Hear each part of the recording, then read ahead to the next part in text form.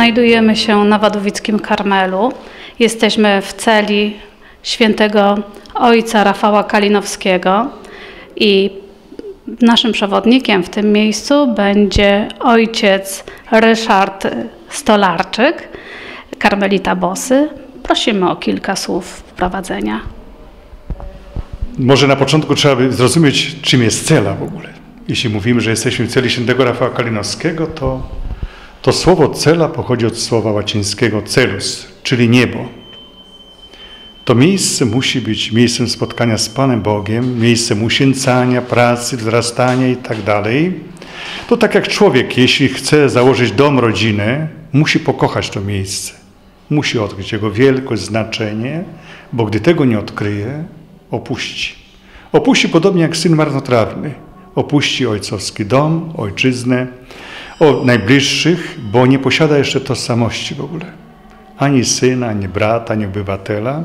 I to jest bardzo ważne, żeby to miejsce było właściwie zagospodarowane. I nieprzypadkowo nazywa się celą. No my mam często skojarzenia z celą też więzienną, ale tak naprawdę tamto miejsce jest miejscem pokuty, naprawiania życia i tak dalej, nie przekleństwa.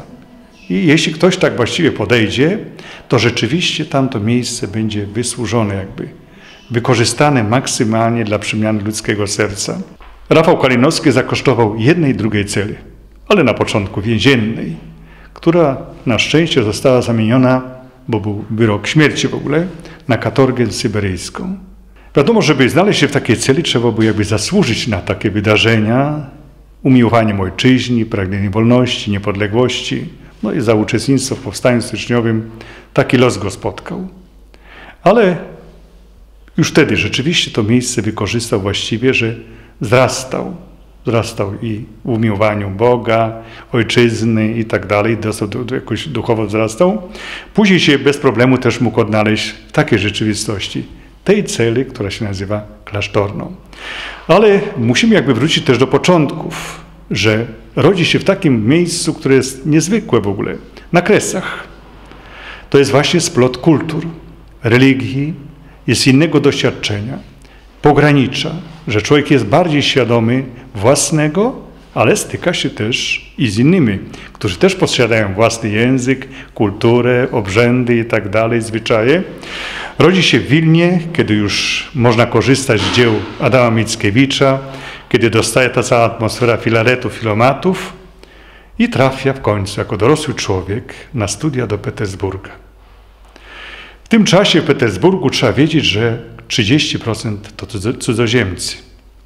A więc to nie jest jakiś taki rosyjski typowy świat, wyobcowany, a w tej Akademii Mikołajewskiej Inżynierii Wojskowej studiuje kilka tysięcy Polaków w ogóle. Na tamtych czasach studiowanie w Kijowie, w Moskwie, w Petersburgu nie było nowością, nie było rzadkością w ogóle. I Rafał wchodzi w ten świat. Poznaje rosyjską kulturę, nie tylko język, spotyka, spotyka też tych ludzi, którzy tam się urodzili i pragną się wyzwolić z tego samodzierżawia rosyjskiego, ale więc rodzi się wiele doświadczeń, przyjaźni i więzi. Rafał tam kończy studia, jest krótki czas wykładowcą. Ale XIX wiek to też budowa kolei warszawsko-wiedeńskiej, no i okazuje się, że zaczęto ją budować dalej, w kierunku Petersburga, jeszcze bardziej na wschód, w kierunku Kurska, a tak prawdę mówiąc, wtedy już rodzą się idee, by budować też syberyjską kolej. Rafał jako inżynier, jako wojskowy angażuje się przy budowie kolei Kijów, Odessa, Kijów, Kursk. I coś ciekawego tam się też dzieje, że dalej jakby pogłębia kontakty z ludźmi, z tą rzeczywistością. Muszę powiedzieć, że też XIX wiek to w ogóle silna etnografia. I widać, że chociaż on o tym nie wspomina i nigdzie nie mówi, bo nie musi też wszystkiego mówić, od razu w ten teren wchodzi na tej trasie Kijów, Odes, Kijów, Kursk. Tam są takie miejscowości Puciwle, Aniucin i tak, dalej, i tak dalej, że spotyka się z tą ludnością i prawosławną i inną, ale to miejsce związane jest z księciem Igorem. Jak ktoś y, oglądał operę, Aleksandra Borodzina o księciu Igorze, kniaz Igor, to wtedy zrozumie, że tym się właśnie zainteresował. On był właśnie w tych miejscowościach, przez które przechodził książę Igor, a czy, nie czytał w oryginalnej tej opowieści, bo ją przetłumaczył duchowy przywódca Konfederacji Barskiej, ksiądz biskup Adam Krasiński pochowany w ogóle na Mazowszu. Tam swoich, bo car niestety go przegnał stamtąd. I on, widać, że on błyskawicznie jakby wchodzi, nie tylko w sprawy pracy swojej, budowy kolei i tak dalej. On jakby wchłania tą rzeczywistość. Jest bardzo ciekawy tej rzeczywistości, która go ubogaca, na dobre kontakty i nawet trzeba powiedzieć, że on dużo z tamtych rzeczy zaczyna brać też. Poznaje pewne rzeczy, które później też stają się aktualne już jako, gdy jest zakonnikiem. No i wtedy wiadomo już dochodzą wieści o powstaniu styczniowym. On jako oficer też ma też świadomość, jaka przeciwności, konfrontacja z starym praktycznie była jednoznacznie określona. Jest ministrem wojny na Wileńszczyźnie. No i za to wszystko właśnie spotkała go ta cela na początku więzienna. No i trzeba coś zrobić z tym miejscem, żeby nie tylko być otoczony ludźmi, którzy są niesprawiedliwi, źli, czy rozproszeni, spanikowani i tak ale w tym miejsce trzeba właściwie zagospodarować. I może można powiedzieć, że już wiele rzeczy się zaczyna. Nawet ta Akademia Mikołajewska w Petersburgu do dziś wspomina jego. Właśnie, że był ciekawym człowiekiem, pod jakim względem? Był mistrzem w prowadzeniu dusz. Nie każdy ma taki dar, żeby rozeznać szybko stan duchowy człowieka i dać mu właściwą drogę na wskazanie, co ma robić, jak uleczyć tą duszę, żeby ona rzeczywiście odnalazła pokój, harmonię i z rzeczywistością otaczającą, z drugim człowiekiem, no i z Panem Bogiem. No i to doświadczenie później syłki. My możemy też mówić wiele rzeczy, że parę miesięcy trzeba dotrzeć. Docierać do, na Syberię, to tak zwane etapy, często gorsze od samej syłki. Łączono przestępców ze słańcami i często padali ofiarami, bo oni brali coś z sobą na drogę. I o tym można też wiele przeczytać. Może nie u Rafa, bo Rafa nie zostawia takich listów, takich wspomnień, ale ten czas wtrafia do takich miejsc jak Usole, Irkuck, który był troszkę wcześniej. Julian Glaubic-Sabiński zostawił niezwykły pamiętnik. Pamiętnik syberyjski. To jest prawie 2000 stron pokazujących całą atmosferę. On 20 lat dziś opisuje, bo on trafia do więzienia w Kijowie. To człowiek z Podlwowa, z tego środowiska niezwykłego. Człowiek, który potrafił uczyć kilku języków, ale był niezwykłym obserwatorem i kronikarzem. No i pokazuje całą atmosferę Syberii. Polacy tam wymarzyli Polskę. Polacy wycierpieli Polskę, wypłakali Polskę. No wiadomo, daleko od domu, od ojczyzny i tak dalej, ale jednocześnie spotykali się z arystokracją rosyjską, która też niestety padała ofiarą syłek. To nie było coś takiego. Często ta ludność, która trafiała na Syberię, to byli ludzie siłą wygnani ze swoich wiosek i tak dalej. Trzeba było ją zasiedlić. To taka, taka właśnie tendencja carska była. No i na, oni byli wielkim skarbem w ogóle dla tej ludności lokalnej, bo byli wykształceni. Uważano, że wszyscy Polacy to wszyscy po studiach i, i tak dalej, że to jest elita Europy, że tak powiem. No i oczywiście Rafał wchodzi w ten świat. Spotyka tam na przykład wydawcę i księgarza, ojca Wacława Nowakowskiego. On jeszcze wtedy był klerykiem, no ale go wtajemnicza w te rzeczy, które tutaj możemy zobaczyć obok, w troskę o pamięć, o książki, o historię i tak dalej. O co chodzi? Że Wymarzono, to znaczy zrozumiano, w jaki sposób odzyskać niepodległą. To też zobaczymy w ogóle, gdy będziemy przyglądać się na szlak papieski, na Karola Wojtyłę, że on spotkał się z tym pokoleniem, które odzyskało niepodległą. Oni wiedzieli, co ich kształtuje i co powoduje odzyskiwanie niepodległości. Kultura, język, literatura, muzyka, etnografia, masę rzeczy, które można byłoby tu wyliczać i bardzo sprytnie to musi być zrobione w charakterze państwa podziemnego. Zajmujemy się etnografią, ale my mówimy o kulturze, o pięknie języka, o melodiach, o wszystkim, o różnych gwarach i tak dalej. I widać, że w Rafale to też wszystko jest jakby, on to rzeczywiście wchłania, no i oczy, były te, oczywiście w tym czasie nawet syberyjskim jest taka scena, że on tam po prostu jest y, też wykładowcą, uczy, wychowawcą, to jednocześnie synów lekarzy tam syberyjskich. To nie byli Rosjanie, nie, nie. I oni po prostu, tak się okazało, że jego ci studenci pojechali też do tej Akademii Petersburgu, też tam studiowali i dzielili się swoimi doświadczeniami. Jest nawet taki list z Petersburga przesłany na Syłkę. Ja tak się kiedyś dziwiłem, no jak to się stało, że te rzeczy wszystkie mógł przywieźć z sobą z Syberii. No przecież nie było takich możliwości niby. były. Ten, który wiedział, że wraca do domu, że kończy się katorga, kupował wóz. Po rusku mówiąc cieliegu. Ale przykrytą, przygotowany jak kufer, że był pasażer i były rzeczy. I przywożono z sobą pamiątki. Przywiążono rzeczy, które są syberyjskie, dlatego też ocalają pewne rzeczy. I co chcę powiedzieć? On, gdy tutaj przyjechał, on jeszcze po, po drodze, można powiedzieć, między Syłką a klasztorem, wychował świętego Augusta Czartoryckiego. A więc widać, że był mistrzem w prowadzeniu dusz i wychowawcą, na dodatek też horyzonty, wiedzę i tak dalej, przygotowanie, to doświadczenie, które przeszedł, dawało mu takie możliwości, że może być w arystokratycznej rodzinie wychowawcą i nauczycielem, ale z takim bagażem oni wiedzieli, co służy odbudowie społeczeństwa. No wiadomo, że na pierwszy plan w jego życiu wyszło nie tylko stworzenie, powiedzmy tutaj szkoły, stworzenie y, klasztoru, ale przede wszystkim to, co odbudowuje ludzkie sumienia. Jeśli był takim niezwykłym przewodnikiem dusz, to okazało się, że ludzie to szybko rozszyfrowali. Nie tylko, że jest legendą powstania, że jest jakimś ciekawym tam do porozmawiania, ale zrozumieli, że on szybko stawia diagnozę. Jeśli nawet Kościół był nieotwarty o świecie, stali ludzie. I to nie znaczy, że on spowiadał tego jednego człowieka godzinę. Nie, szybko.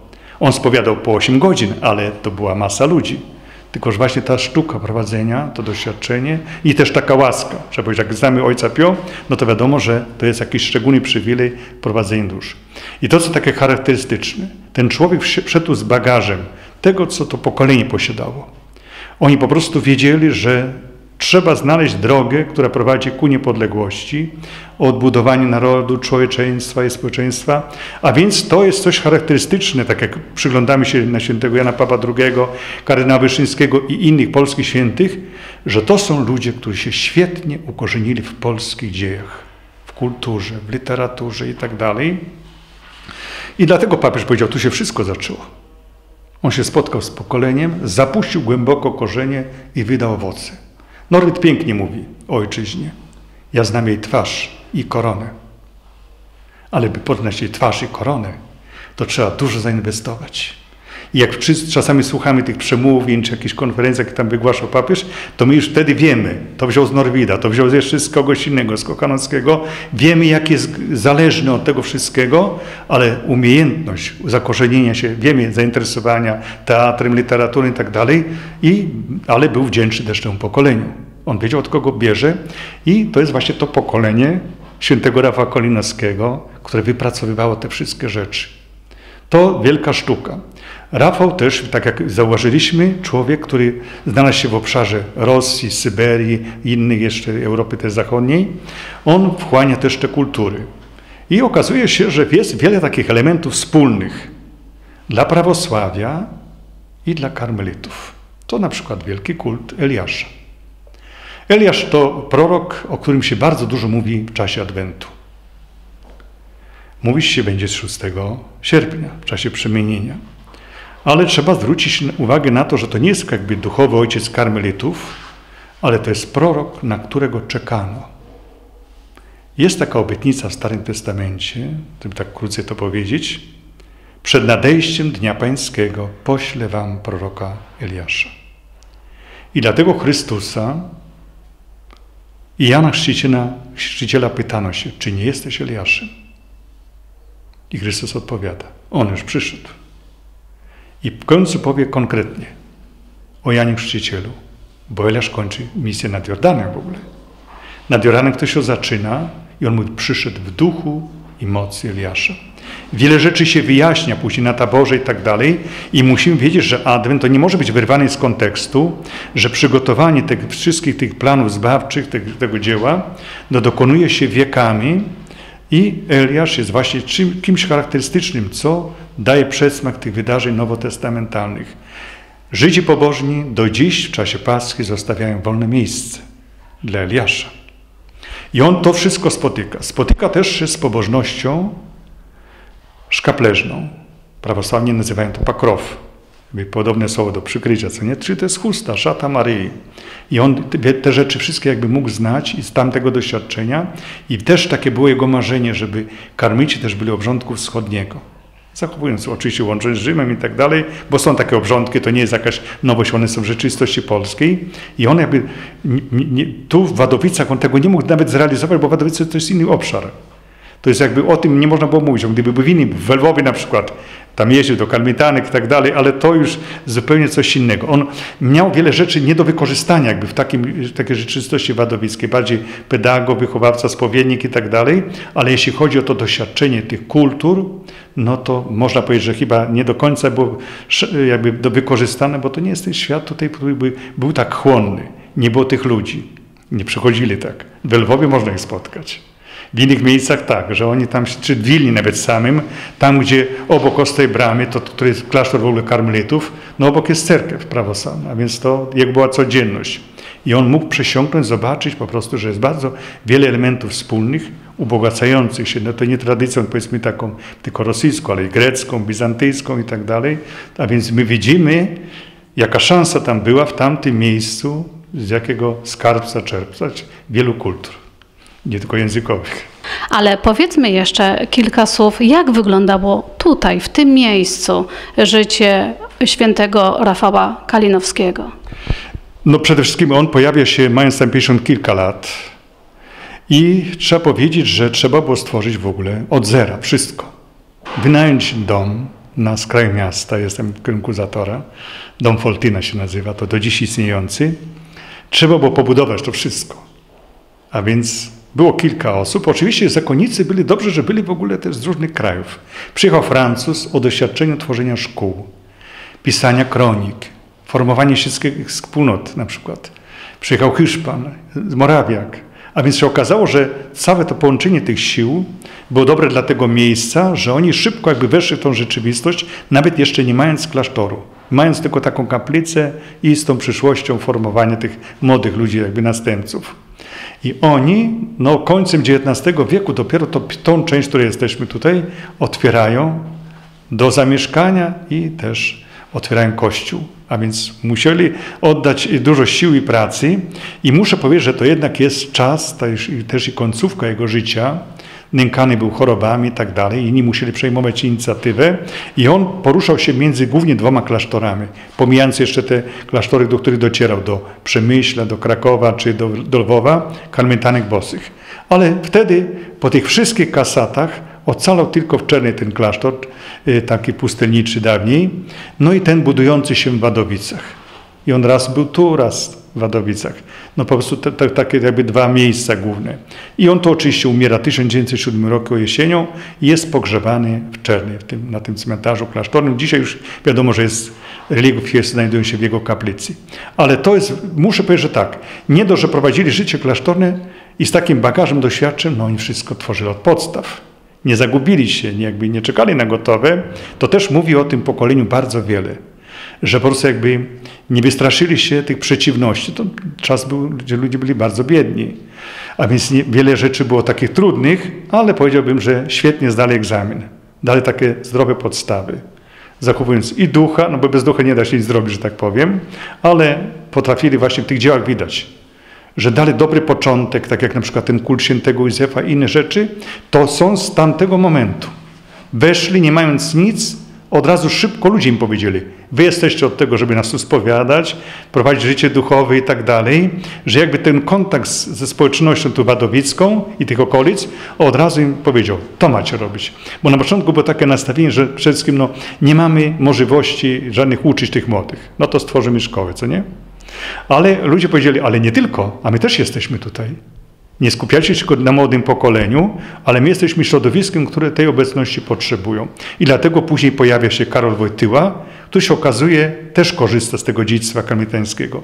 Dlatego pisze doktorat na podstawie dzieł świętego Jana od Krzyża. No, karmity Bosego w ogóle. Uczy się hiszpańskiego, jest doktorat i tak dalej. I widać, że wchodzi w tą rzeczywistość. Ty też spotyka się z pobożnością szkapleżną jeszcze inne rzeczy. I widać, że on wchodzi też w to dziedzictwo Dlatego zapuszcza korzenie. To jest tylko jeden z elementów na tym szlaku papieskim.